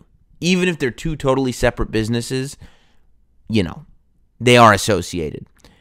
The Undertaker, and this is part of, I you know, story number five is also The Undertaker because we didn't really talk about him last week, is going to be at Starrcast, which is huge. Now, you know, he has done a couple of things before. He's done some Comic Cons recently. He's, of course, done some WWE Axxess appearances in the past, but he's never done a non WWE wrestling show before for any reason, whether it's to do an interview or sit in the crowd or do an autograph signing or a match or whatever it is. He's never done any wrestling thing without the WWE stamp on it. And we talked last week about how he had removed the WWE branding from his Twitter account. And I said that I think that that really has everything to do with him trying to just get out there and do more signings and, and open up new sources of, of revenue that are not necessarily WWE associated. It's his way of letting all the independent uh, autograph signing promoters out there know that he's available. That it's not go through WWE and I'll come to you do a signing wherever you're doing signings. It's come to me because I'm the guy who's in charge of what my destiny is at this point. Now it is a shock that he would turn around and do Starrcast right away, and it certainly does. Even if he's not going to step foot in the MGM Grand and be a part of uh, Double or Nothing, and I don't think the Undertaker will be a part of Double or Nothing, but just the fact that he's part of Starrcast does add a huge amount of credibility to AEW. Even if it's not their event, it adds a huge amount of credibility to that weekend. Jonathan Coachman is going to be there too, doing a signing at the Starrcast. So I'm I'm interested to see because because at the last Starrcast before All In, there was really nobody that was associated with WWE at that show. So I'm very interested to see what this starts to look like. I'm very interested to see if other people who have similar deals, you know, I suppose Jonathan Coachman must have an announcer's deal. I don't know what his deal is. I guess I should have asked him on Sunday privately, but I don't know what his deal is. But, you know, we've seen, for instance, I think uh, uh, Kayla Braxton, Renee Young, Charly Caruso, Cody, uh, not Cody Rhodes, um, Corey Graves. All of them have done appearances outside of WWE. They do appearances at stores. They do appearances at wrestling conventions. Who knows? Jonathan Coachman's popping up at Starrcast. Maybe one of them pops up at Starrcast. Who knows? But I think it's really opening up the world, and uh, I'm interested to see how WWE handles AEW and Starrcast. You know, because it's not every time anything good happens for AEW, people start to say Vince McMahon's panicking, Vince McMahon's panicking. Maybe he is panicking. Maybe everybody's just going off the ranch and acting independently. Or maybe Vince McMahon is as aware as we are that competition is good, and maybe he's loosening the reins a little bit. Maybe he's saying, look, if it's not in your deal, like the active roster superstars, if you're if it's in your deal that your personal appearances come through us, well then no, you can't do Starrcast. But if contractually you're allowed to do Starrcast, go ahead and do Starrcast. You know, if that's the attitude that's being taken, there's got to be something behind it. Interesting. Interesting, interesting. But that's my story number five. Story number four is Ty Dillinger. Speaking of AEW, and, and that's obviously the first three letters that come up whenever any superstar asks for their release. Uh, we talked about Hideo Itami last week. This week, uh, just actually right after SmackDown, it was on Twitter. Ty Dillinger, he did a screenshot uh, of a couple pages of notes on his phone explaining that he had asked for his release on Tuesday from WWE. Now, uh, WWE has not confirmed that they've granted him his release, but he said he asked for his release and then kind of gave a goodbye and spoke as if he was not going to be wrestling for WWE anymore. I would imagine that if he were not at least verbally granted his release, he wouldn't have gone and announced it on Twitter, but I don't know him well enough to say whether or not he would have done that. I would just think that a person wouldn't. Um, I think he is. I mean, in the, in the right position to be doing something like that. Clearly, Ty Dillinger had built a little bit of buzz up for himself in NXT. You know, I was a Ty Dillinger fan, the Perfect Ten. He was a heel, and I think you know something like the Perfect Ten, you should be a heel, but you know, he he built up a buzz for himself in NXT. He did that one Royal Rumble where he came in as number 10 while he was still in NXT and got a huge ovation for it. When he first got to WWE, when he first first first got to the main roster, there was this introduction that he's the perfect 10, but it was pretty clear from the beginning that it just wasn't there was just some disconnect between Ty Dillinger and the main roster, and that's not Ty Dillinger's fault. That's not anybody's fault. It's you can just see that whoever makes the decisions did not see in Ty Dillinger what some fans saw in Ty Dillinger. He has been pretty dormant. He has had injuries. He's also not had injuries. Either way, he's been pretty dormant over the last I don't know, year or more. It's just not part of the conversation. So, you know, I, I think you come to a choice. You know, Ty Dillinger is at an age where he goes, look, I could stay with WWE, make enough money, you know, support myself, support my family, start a family, if I, whatever it is. Like, he's, he's, I'm sure he's making decent money.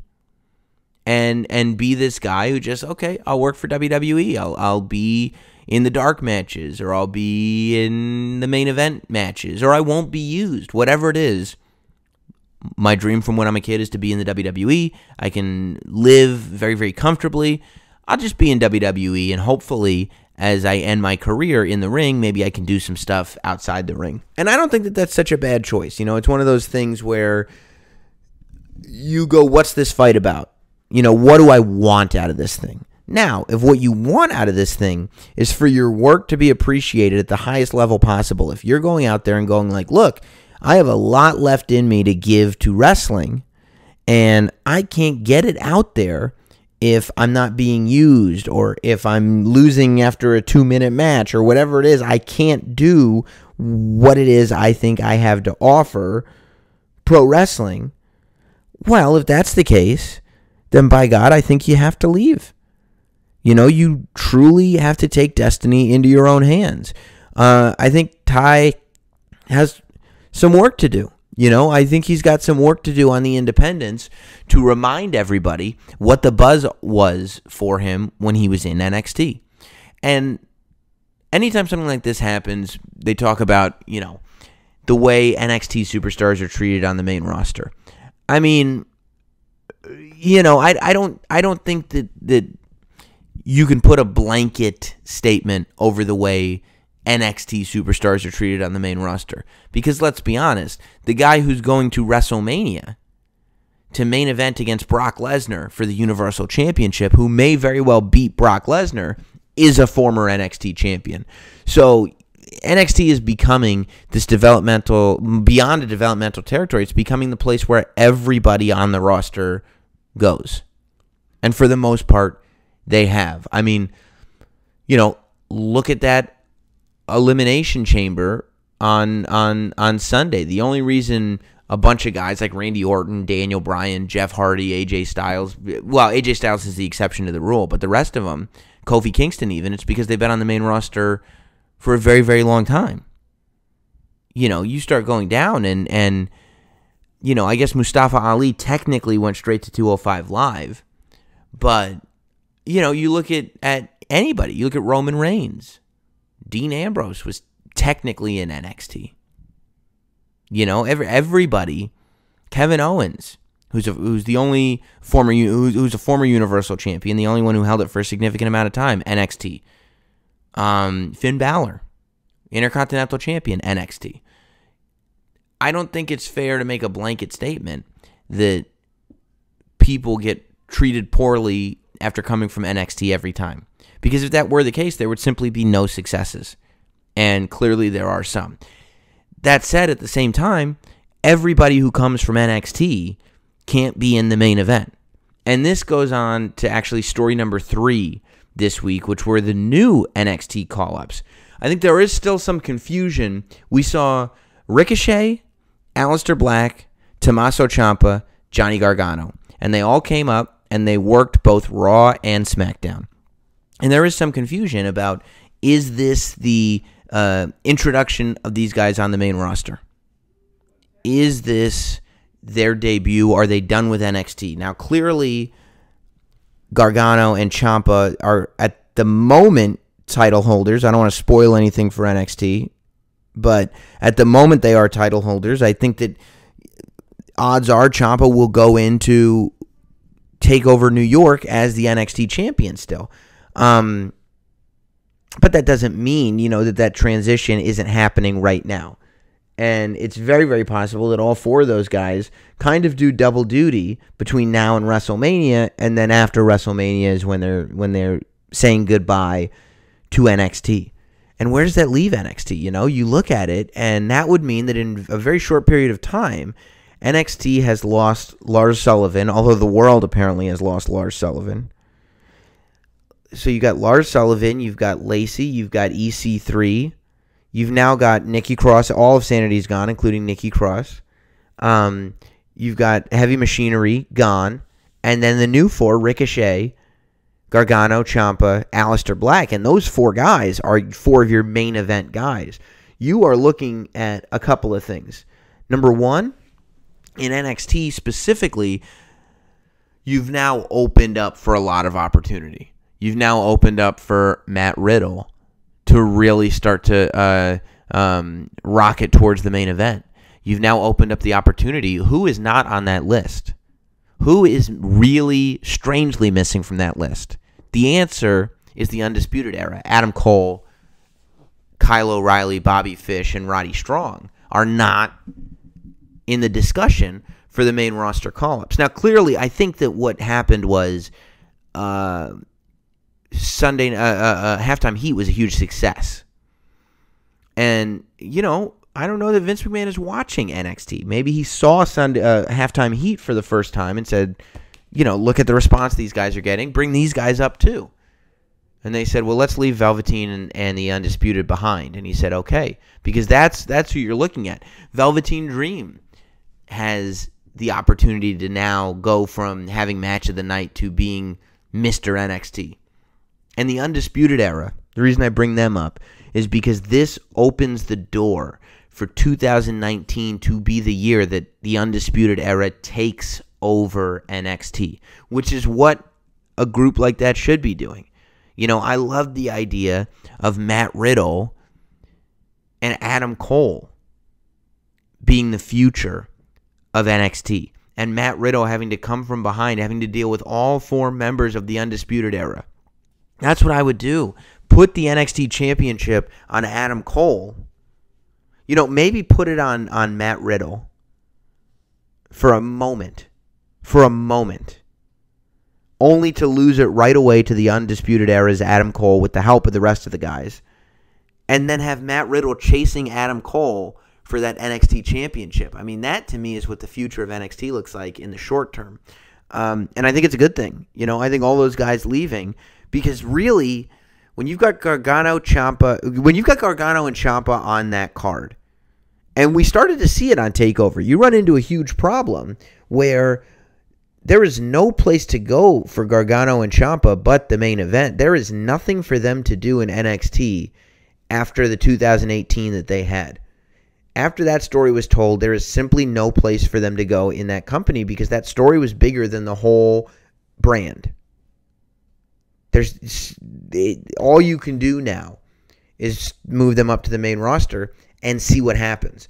Now, when you talk about that story, I do think that this main roster move has forced us to rush the Ciampa Gargano story. It would seem like the original plan was probably an NXT for the second wave of this story to be DIY reforming, but under the sort of black heart mentality of the current day Tommaso Ciampa. That sort of uh, um, bringing Gargano in, trusting Ciampa again, becoming friends with Ciampa again. That story, it seems like, has been completely rushed because it's time to get them on the main roster and we want to put them together on the main roster. The other thing is, and this is a little detail, but it bugged me. Why in the promo photos of Tommaso Ciampa when they introduced him on Raw, when they said he's coming up next, the whole thing, he's smiling. Why? And not like a maniacal smile, but like a I'm a friendly good guy smile. But he's got the big beard, he's got the the like he's still the bad guy that we've been watching for the last year. But he's smiling. I didn't love it. But again, I think that that's because the reality is when these guys get to the main roster, they can't rest on the laurels of what they did in NXT. The story that was told in NXT is not the story being told on the main roster. So we almost have to leave that behind, it would seem like. Um, in terms of the way the main roster reacts, I think that it's good news for the NXT guys, as I said. But I think the reality is, especially with Roman Reigns gone, that the WWE, in real life, not in storyline, in real life, the WWE is looking for guys to step up. Whatever that means, they are looking for guys to step up. Sometimes at work. I mean, think about the WWE like any other place of work. Sometimes at work, you get comfortable in your job. Friendly with the boss, you know what the job is, you do you you do a good job, but you come in, you punch your ticket, you do a good job, you go home. You're not sitting there at some point when you're young at times, you go and you're and you're just scrapping and scrapping and scrapping trying to get that promotion trying to get that raise trying to get from part-time to full-time whatever you're doing but at some point you get to a place where you're comfortable. Maybe you don't think that there's any place else for you to go in terms of lateral uh, movement. And so you go okay i'm just going to come in and i'm going to do a good job and this is what my job's going to be. This is what my life's going to be like. And then somebody comes in and a new employee comes in. And they are as experienced as you are, but they are showing the hunger that you did when you were young. And that's because they're new to this company that you're in, right? And you start looking at them and going, wait a minute. This person's trying to outshine me. And whether that means that a promotion that I didn't think was going to happen for me will now happen for this new guy, or they're going to try to get promoted and take my job from me, or they're just going to gain favor with the boss that I could really use, or whatever it is. There's a certain degree of discomfort and a certain degree of uncertainty that if you inject into a group, into your employees, can make them work harder and can make them work better. It would not shock me when I saw, especially the level of NXT star that were brought up. The fact that that they brought the four top guys in NXT. I don't think you could argue that. The four top guys in NXT were brought up to the main roster. I think that that was for us, that was for the fans in terms of giving us something new. But I also think that they're trying to shake up that locker room. Now, I didn't know any of this was going to happen. Nobody was. I was there on Sunday. Nobody was talking about it. It was a surprise. It was total shock to me when it happened on Raw. So I don't. I have no inside information. But I wouldn't be shocked if they're trying to shake up the locker room a little bit and say, "Look, we need guys to start stepping up." And if you're not going to do it, maybe some of these NXT guys will. Because now you're sitting there going, because there are fans that are like, "Hey, Aleister Black should be in the main event. Tommaso Ciampa should be in the main event. Gargano should be in the main event. Ricochet should be in the main event. And you're right. Right? You're right. Look at how great they all are. But guess what? There's only one main event. And if you put any of those guys in the main event, you're taking out somebody who's established and been on the main roster for years. So now there's this struggle to see who's going to be the guy, who's going to be the person in the main event. I think coming off of Raw and SmackDown, for me, it was close as to who looked best. I don't think I, I wouldn't even say looked worst. I think everybody from NXT, all four guys, ended up looking awesome. Personally, I think Ricochet looked the best. I think Ricochet was introduced as this is going to be your new underdog babyface hero that all the kids come to see, that all the girls like, that does stuff that's so spectacular the dudes like him too. Like this is the next good guy hero. That's how I think Ricochet was shown off. Um, after that, it's tough, you know. Maybe just because he was shown off as a single star, while Gargano and Ciampa were shown off as tag team stars. I feel like Aleister Black is probably second, and then Gargano and Ciampa third.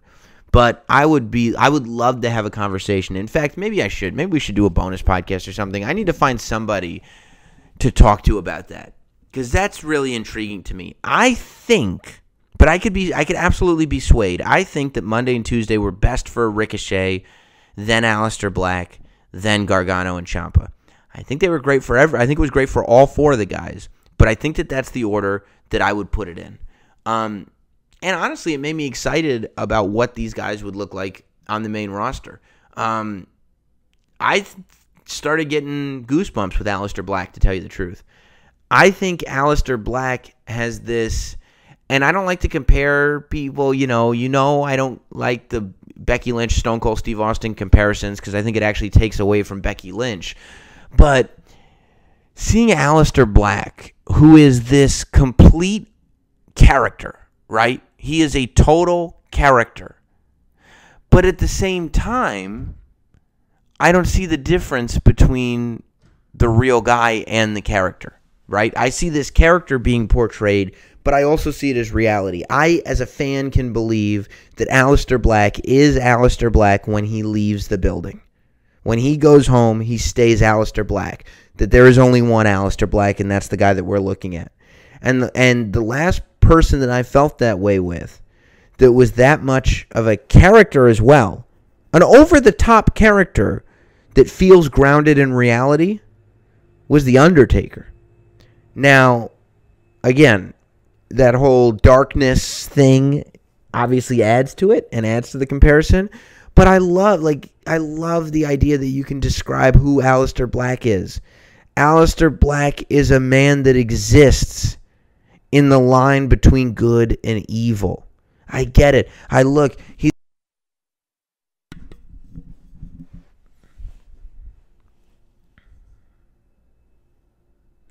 got one kick pad that's all glossy and one kick pad that's matte. He's got the black and white on the black of his on the back of his vest. He is a human juxtaposition.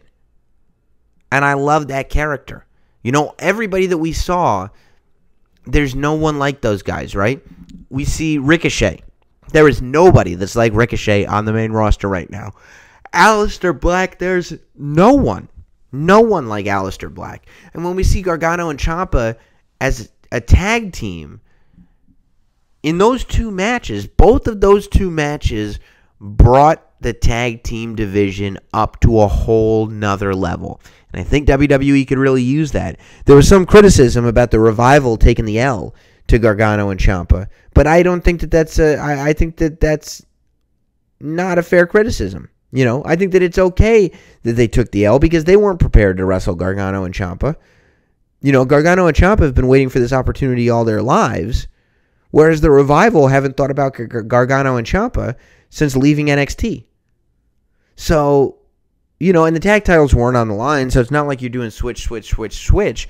But what it does do is it opens up a conversation now when Gargano and Ciampa are officially on the main roster. Well, they are within reason to say, hey, we want a pay per view tag team championship match with the revival. And then you've got a tag title match that you're as excited about as some of the singles titles. And it could be really, really good. But I, I, I like the way it's handled.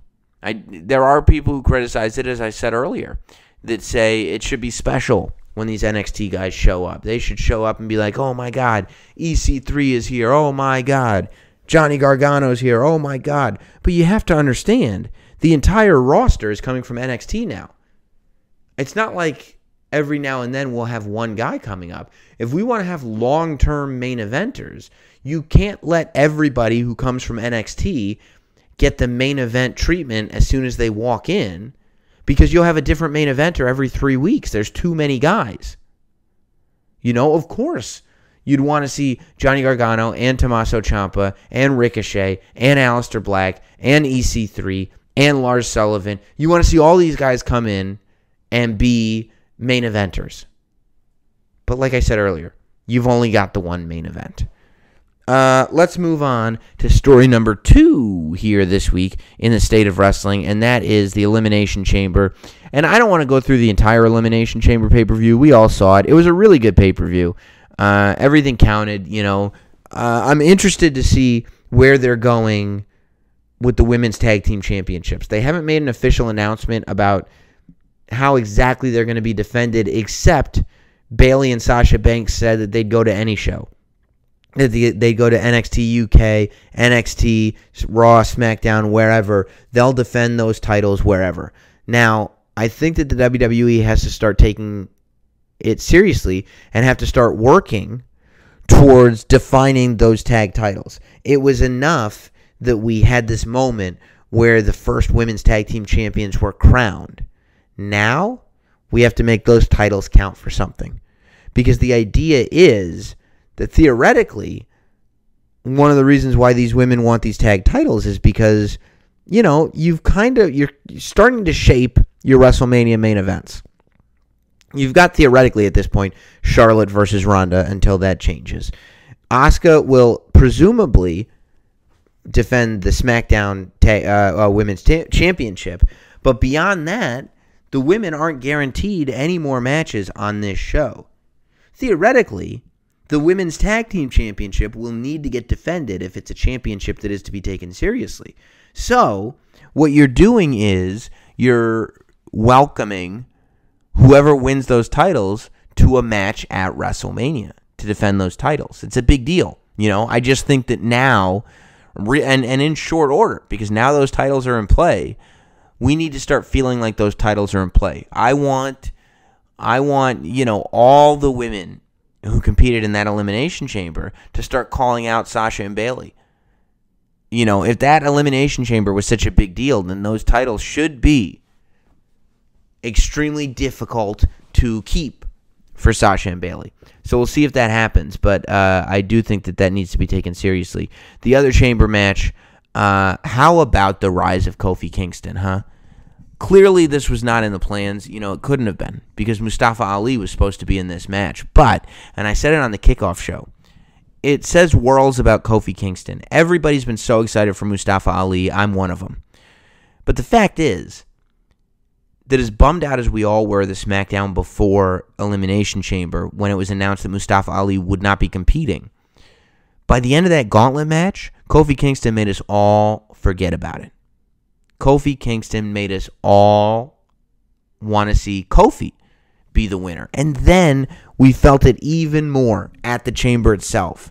And that final showdown between Daniel Bryan and Kofi Kingston, it was probably, and I, I don't even think I need to say probably, it was the best Elimination Chamber match of all time. And a lot of that had to do with what happened at the end of that match between Daniel Bryan and Kofi Kingston. The work Daniel Bryan is doing right now in the ring and out of the ring is the best work of his career. This is the best we've ever seen Daniel Bryan in WWE, in my opinion. I'm I'm I love that they're going to spend 3 weeks now building towards a Kofi Daniel Bryan match because all it does is make Kofi feel like a more and more serious contender for the WWE Championship. Kofi Mania was what a lot of people were tweeting about because they want to see Kofi Kingston get the WrestleMania match. Look, I think the Kofi Kingston thing is so new. I'll tell you how I feel after Fastlane. But right now, I wouldn't mind a Kofi Kingston WrestleMania match. Look, is it so hard to believe what what if you know? And this is crazy. So at the Royal Rumble, my guy Hot Dog, my young boy Hot Dog, he said, "I think Kofi Kingston's going to win the Royal Rumble and go to WrestleMania." And I was like, "Hot Dog, this is why you wouldn't be anywhere near a booking table. That makes no sense. I love Kofi Kingston. What you just said makes no sense." He will not let me forget that I told him that was stupid. Because now it's the match people want to see. If it were up to me, I would probably have Kofi Kingston lose at Fastlane again. Maybe due to Eric Rowan interference. But make it a great match that it, we really feel like Kofi might win this one. And then say, you know what, we're going to have to bring it to WrestleMania. And maybe, just maybe, what if, what if Kofi Kingston were to win the WWE Championship at WrestleMania? Now, I've heard some people uh, I don't remember where I read it, but I've heard some people say, like, wouldn't it be great if there was a Big E heel turn and it cost Kofi Kingston the WWE Championship at WrestleMania? I don't think so. I think that the journey that we've been on with the New Day, I think for the New Day to be able to evolve to the point where one of their members can be WWE champion and it doesn't mean that they separate would be uncharted territory. Big E turning heel would be cool, but it would be a heel turn like we've seen heel turns before.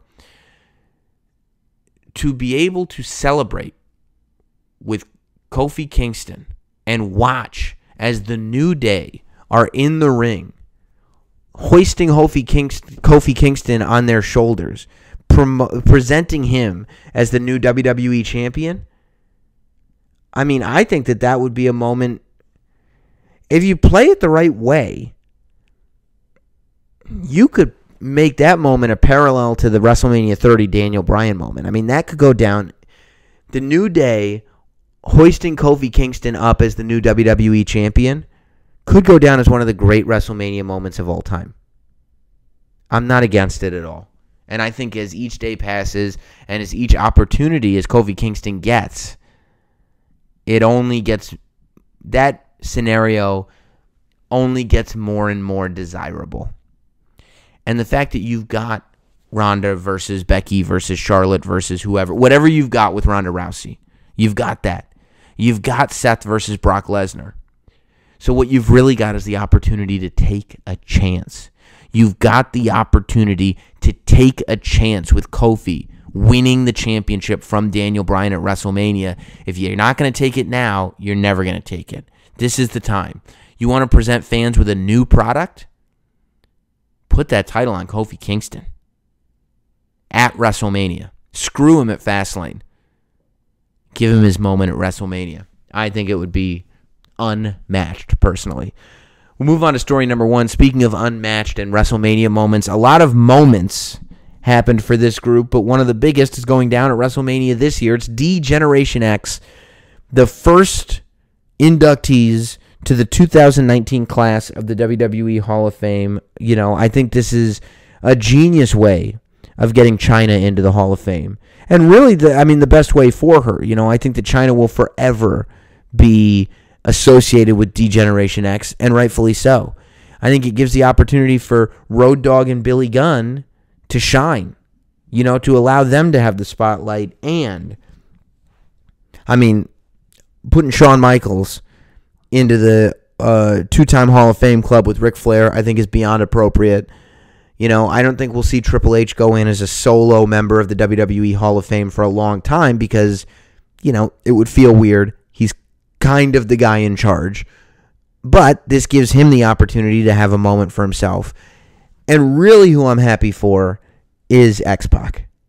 I mean, the the appreciation for X Pac's legacy over the last five to ten years has made me so happy. It really does show that you never know how things are going to pan out, right? Because, you know, towards the end of X Pac's WWE run, people just booed him for the sake of booing him. Like it wasn't, they, they didn't even take him seriously anymore. But once he was gone, and a few years went by, and then he started kind of telling his stories.